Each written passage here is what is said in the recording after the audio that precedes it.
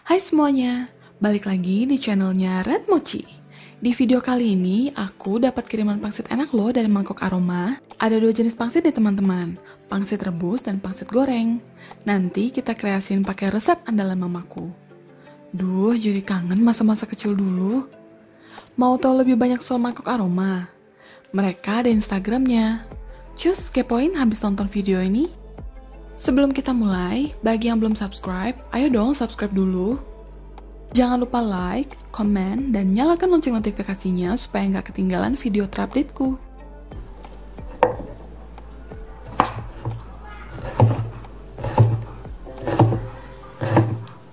Kita slice 2 siung bawang putih. Lepas itu kita slice jahe. Nggak usah banyak-banyak ya, satu ruas jari aja cukup.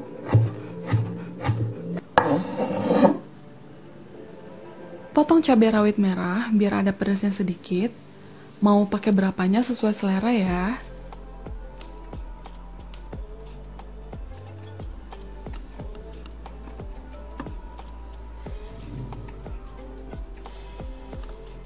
Lalu kita potong daun bawang. Potong-potong bakso sapi menyerupai lambang X, tapi jangan sampai kebelah beneran ya. Kalau nggak ada bakso sapi, boleh pakai bakso ikan atau bakso ayam.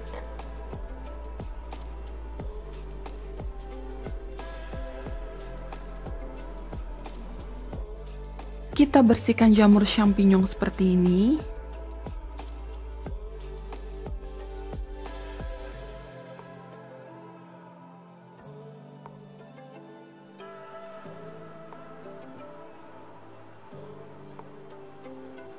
Kemudian kita potong tipis-tipis.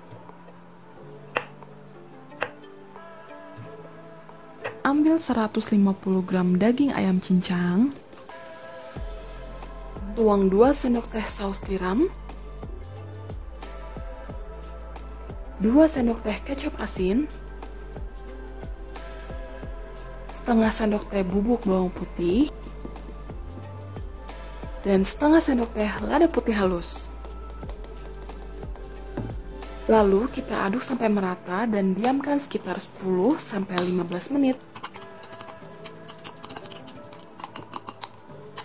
Nyalakan kompor dan panaskan wajan dengan api kecil. Masukkan minyak, kemudian goreng bawang putih, jahe, dan cabai yang tadi sudah kita potong-potong.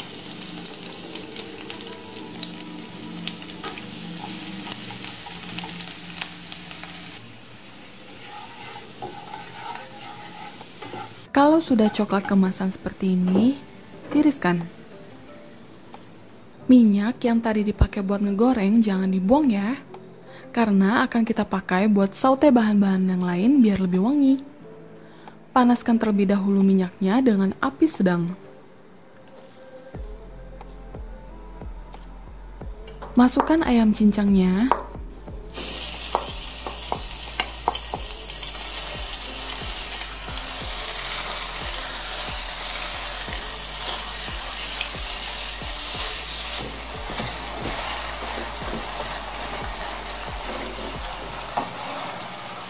Masukkan bakso.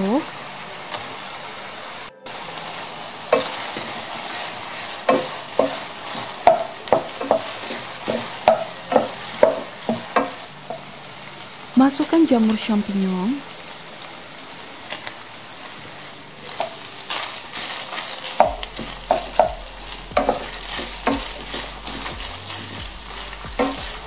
Kemudian tambahkan air sekitar 500 ml.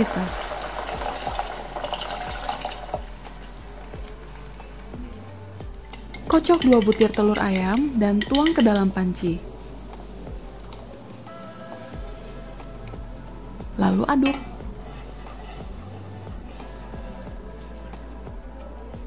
Tambahkan 2 sendok teh kaldu jamur dan 1 sendok teh gula pasir untuk menyeimbangkan rasa gurih dan asin masakan kita. Kemudian masukkan bihun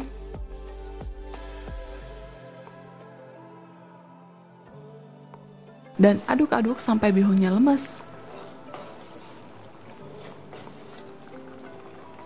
Kalau kuah kaldunya sudah mendidih, Masukkan pangsit aroma dan aduk pelan-pelan selama beberapa menit supaya pangsitnya gak hancur.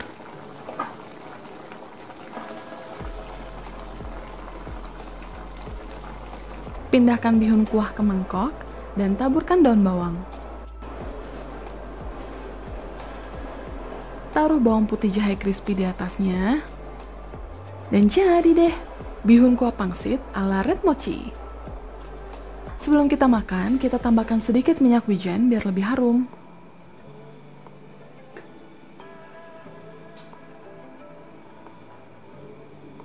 Wah, kelihatan enak.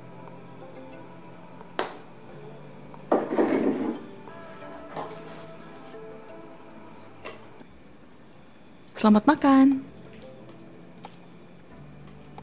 Kita coba pangsit rebusnya ya. Hmm, teksturnya lembut dan rasanya enak banget. Dulu waktu kecil, aku sering banget dibuatin bihun kuah pangsit ini sama mamaku. Makannya anget-anget pas musim hujan. Eh, gak terlupakan pokoknya.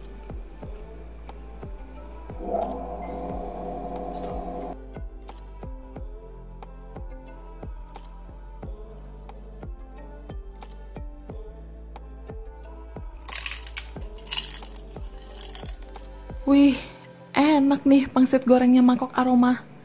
Kriuk-kriuk renyah, cocok banget dimakan sama bihun kuah.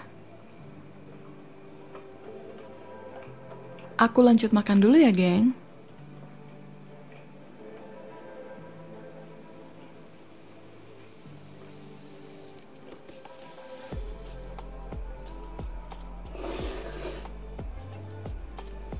Kita tambahkan sedikit chili oil biar suapan terakhir jadi lebih sedap.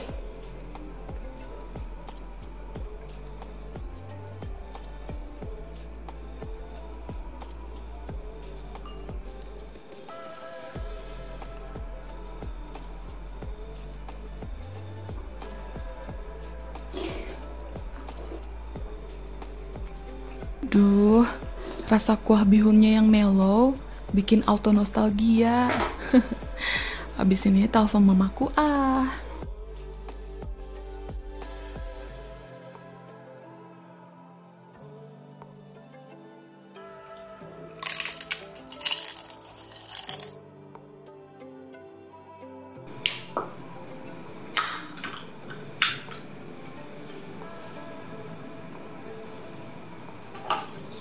Gimana resep kali ini?